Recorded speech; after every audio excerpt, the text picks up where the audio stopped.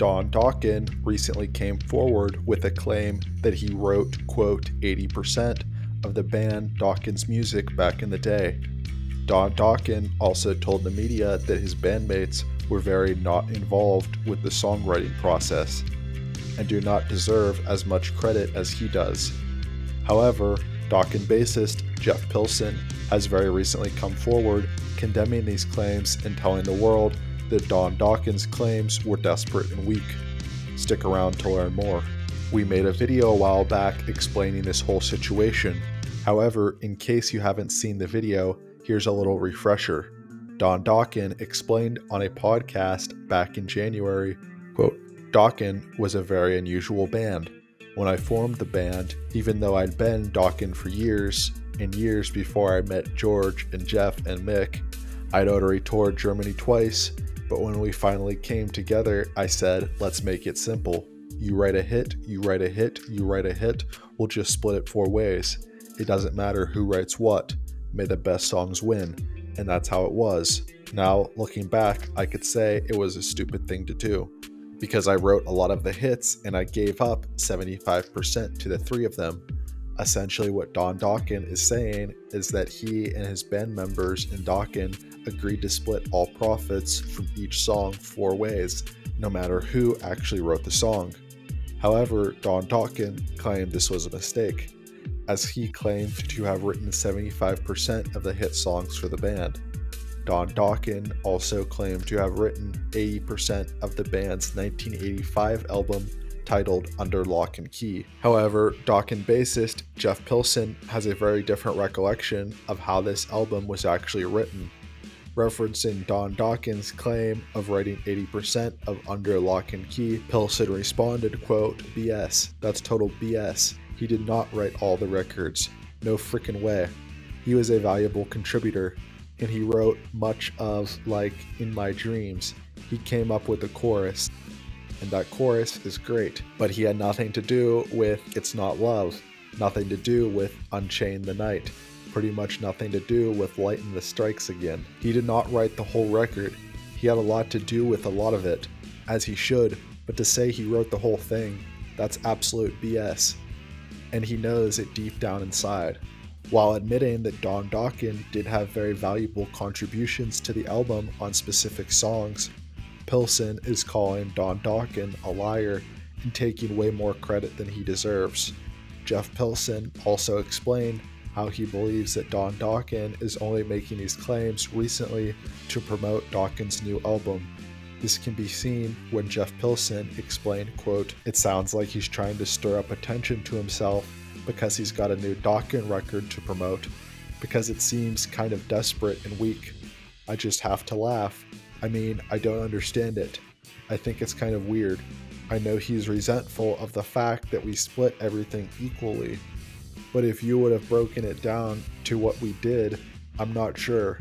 But maybe he would get a little, yeah, he would get more than a quarter if it was really broken up, but not enough to make all the noise he's making now, 30 years later, 40 years later, while calling Don Dokken's wild accusations weak and desperate. Pilson is also explaining here that while even he believes Dokken would get more than the agreed upon 25% of the profits from the albums, he wouldn't get nearly the 75% that Don Dokken claimed he deserved.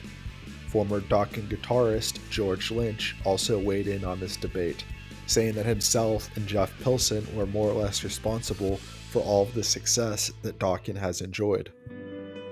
When asked about this statement from Lynch, Pilson responded, quote, Yeah, we all wrote the melodies and lyrics for Unchain the Night, and It's Not Love.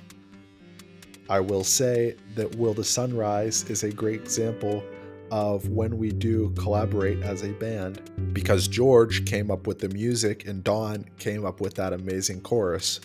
I think the chorus on Will the Sunrise is amazing.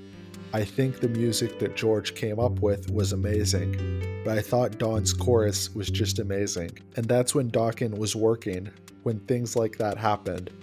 While in a way taking the opposite side of George Lynch by saying each member contributed great things to the album, Pilson is clearly stressing the fact that everyone did their part.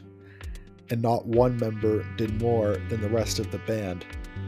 While George Lynch and Don Dokken clearly believed that they did more for the band than any other member, Jeff Pilson is very obviously taking the high road approach, saying everyone more or less contributed equally to Dokken's musical triumphs.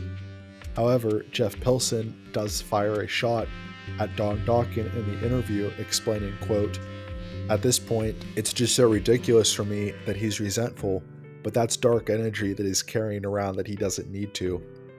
However, the interview wasn't over just yet. Don Dokken also previously claimed to have written 80% of Dokken's second album in 1984, titled Tooth and Nail.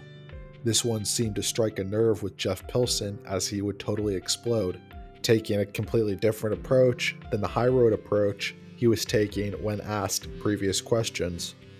Pilson fired back, quote, Tooth and Nail? You've got to be kidding me. He had nothing to do with the song Tooth and Nail, except that we knew that that was going to be the title of the record, so he wrote the song around that. But he had nothing to do with that. He had nothing to do with Just Got Lucky. Pilson continued on his tirade, quote, he did make valuable contributions to Into the Fire, and he did make the most valuable contribution to Alone Again. But then there's other songs on Tooth and Nail that he, I mean, Don't Close Your Eyes, he had nothing to do with. Heartless Heart, he had nothing to do with. I mean, there's a lot of songs he had nothing to do with. So for him to say he wrote 80% of any of the Dokken's records is crazy. Once again referring to Don Dokken's claims as wild and crazy, Jeff Pilson now has taken the stance that he will not back down to Don Dokken's accusations, as can be clearly seen in this rant as he cited many different examples of songs that he claimed Don Dokken had nothing to do with most certainly not 80% of the album like Don claimed. Do you think either side is only making these accusations for clout or personal reasons? It is not uncommon for bands to argue over who deserves credit for the hit song the group produces. One of the most well known cases of a rock band dispute over a song credit is the legal battle regarding Led Zeppelin's iconic song, Stairway to Heaven. The band was accused of copying the opening guitar riff from the song Taurus of the band Spirit. This is because a lawsuit filed by Spirit's guitarist Randy Wolfe, this case went to trial, and Led Zeppelin won in the end, with the court ruling that there was no substantial similarities between the two songs. However, similar to Dokken and Pilson, the band Spirit was seeking credit for this hit song they claim to have written a part of that was stolen by Led Zeppelin. Now that you know all the facts about this story from both Don Dokken and Jeff Pilson's side, we want to hear your thoughts. Whose side are you on? Make sure to check out the video link to learn all about Don Dokken's side of the story. Do you believe that Don Dokken wrote 80% of the band's hits? Or are you on Jeff Pilson's side and believe that the band's success was more evenly split? Let us know in the comments section below. Leave a like if you enjoyed, and thanks for watching.